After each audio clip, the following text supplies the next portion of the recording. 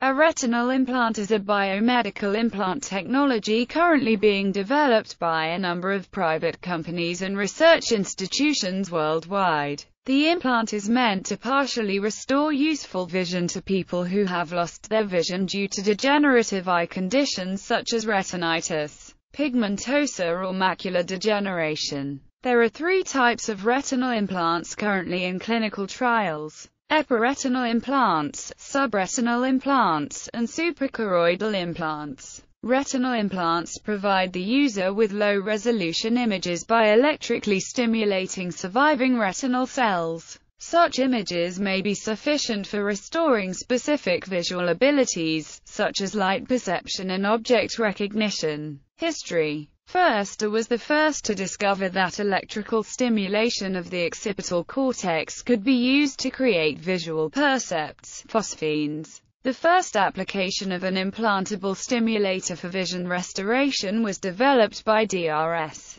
Brindley and Lewin in 1968. This experiment demonstrated the viability of creating visual percepts using direct electrical stimulation, and it motivated the development of several other implantable devices for stimulation of the visual pathway, including retinal implants. Retinal stimulation devices, in particular, have become a focus of research as approximately half of all cases of blindness are caused by retinal damage. The development of retinal implants has also been motivated in part by the advancement and success of cochlear implants, which has demonstrated that humans can regain significant sensory function with limited input.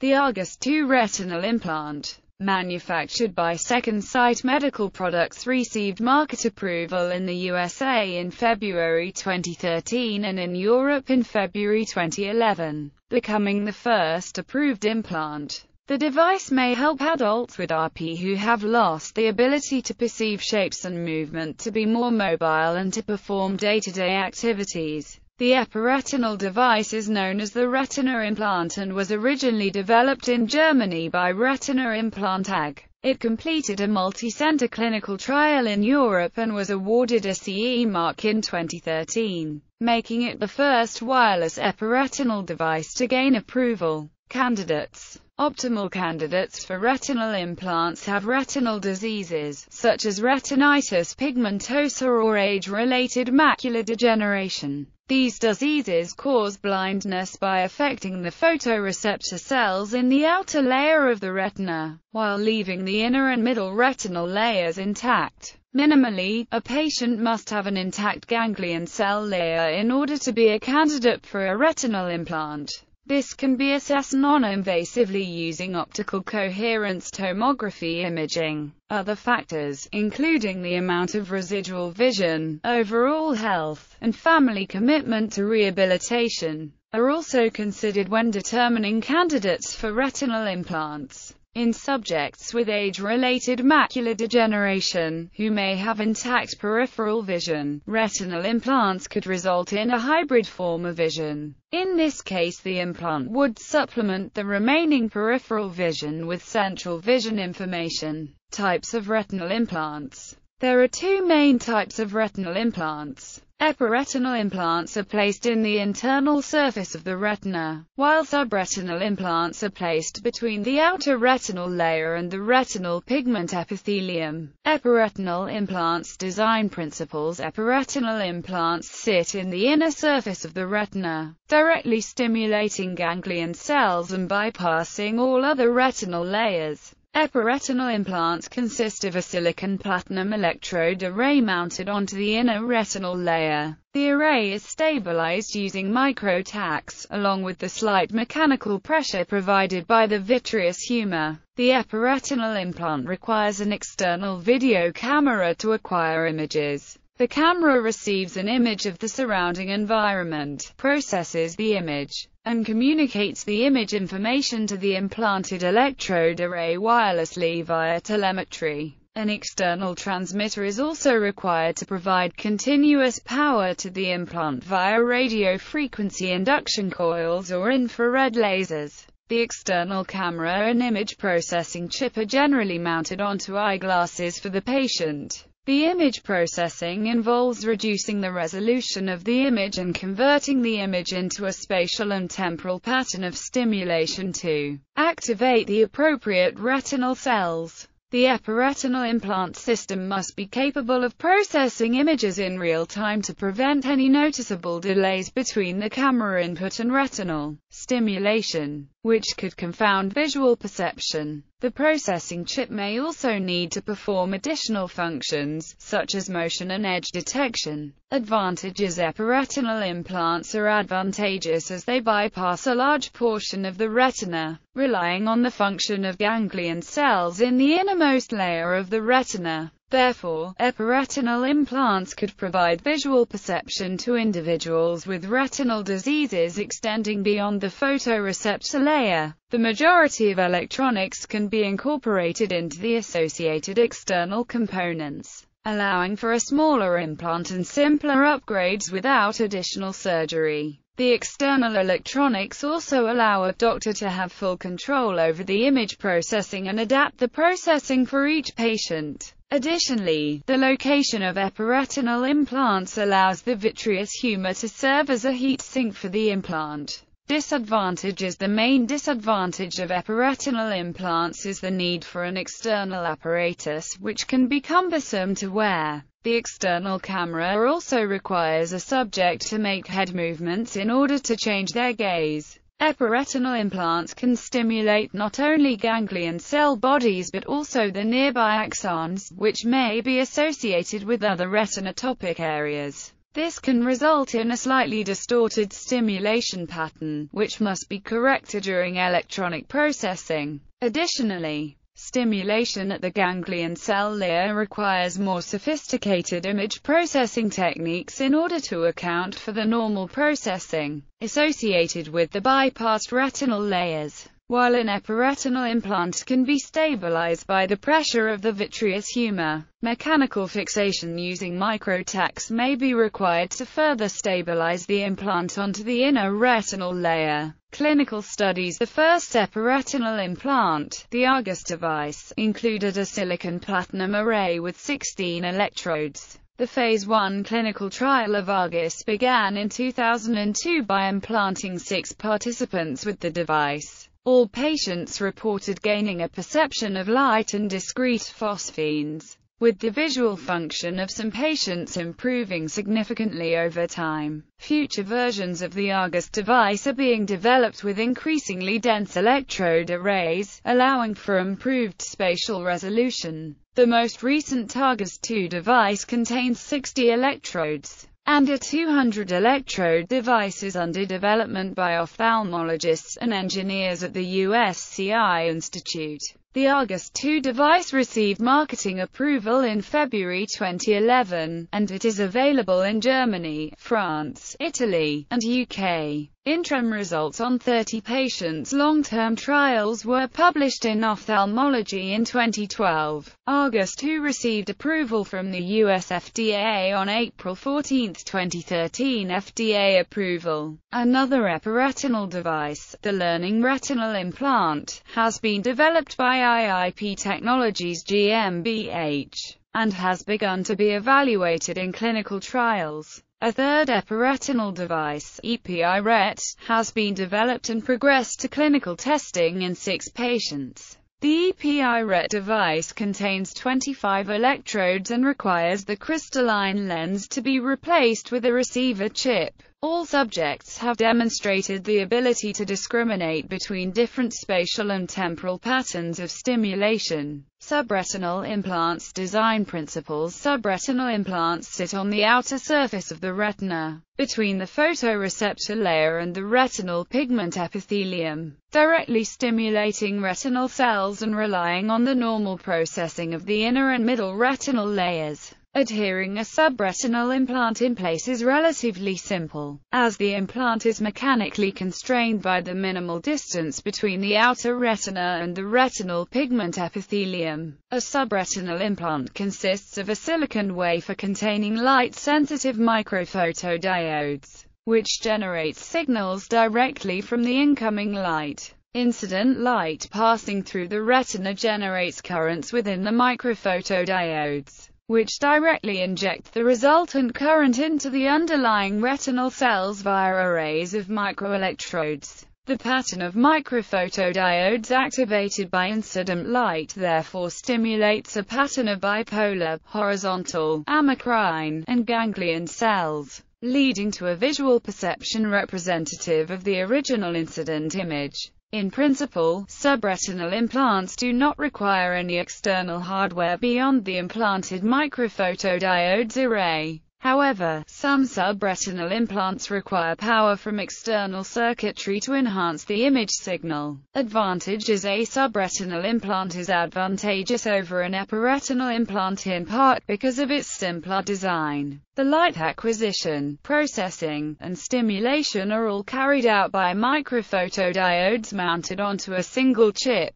as opposed to the external camera, processing chip, and implanted electrode array associated with an epiretinal implant. The subretinal placement is also more straightforward, as it places the stimulating array directly adjacent to the damaged photoreceptors. By relying on the function of the remaining retinal layers, subretinal implants allow for normal inner retinal processing, including amplification thus resulting in an overall lower threshold for a visual response. Additionally, subretinal implants enable subjects to use normal eye movements to shift their gaze. The retinotopic stimulation from subretinal implants is inherently more accurate, as the pattern of incident light on the microphotodiodes is a direct reflection of the desired image. Subretinal implants require minimal fixation, as the subretinal space is mechanically constrained and the retinal pigment epithelium creates negative pressure within the subretinal space.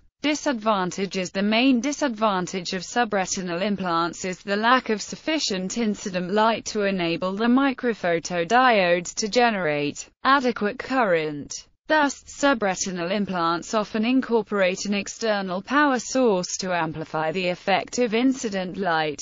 The compact nature of the subretinal space imposes significant size constraints on the implant.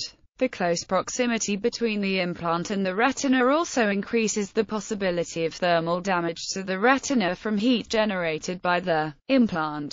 Subretinal implants require intact inner and middle retinal layers and therefore are not beneficial for retinal diseases extending beyond the outer photoreceptor layer. Additionally, photoreceptor loss can result in the formation of a membrane at the boundary of the damaged photoreceptors, which can impede stimulation and increase the stimulation threshold. Clinical Studies Optobionics was the first company to develop a subretinal implant and evaluate the design in a clinical trial. Initial reports indicated that the implantation procedure was safe, and all subjects reported some perception of light and mild improvement in visual function. The current version of this device has been implanted in 10 patients, who have each reported improvements in the perception of visual details including contrast, shape, and movement. Retina Implant AG in Germany has also developed a subretinal implant, which has undergone clinical testing in nine patients. Trial was put on hold due to repeated failures. The Retina Implant AG device contains 1500 microphotodiodes, allowing for increased spatial resolution, but requires an external power source. Retina Implant AG reported 12 months results on the Alpha IMS study in February 2013 showing that 6 out of 9 patients had a device failure in the 9 months post-implant proceedings of the Royal Society B, and that 5 of the 8 subjects reported various implant-mediated visual perceptions in daily life. One had optic nerve damage and did not perceive stimulation. The Boston Subretinal Implant Project has also developed several iterations of a functional subretinal implant and focused on short-term analysis of implant function. Results from all clinical trials to date indicate that patients receiving subretinal implants report perception of phosphenes, with some gaining the ability to perform basic visual tasks, such as shape recognition and motion detection. Spatial resolution The quality of vision expected from a retinal implant is largely based on the maximum spatial resolution of the implant. Current prototypes of retinal implants are capable of providing low-resolution, pixelated images. The state-of-the-art retinal implants incorporate 60 to 100 channels, which is sufficient for basic object discrimination and recognition tasks. However, simulations of the resultant pixelated images assume that all electrodes on the implant are in contact with the desired retinal cell. Therefore, the expected spatial resolution provided is even lower as a few of the electrodes may not function optimally. Tests of reading performance indicated that a 60-channel implant is sufficient to restore some reading ability, but only with significantly enlarged text.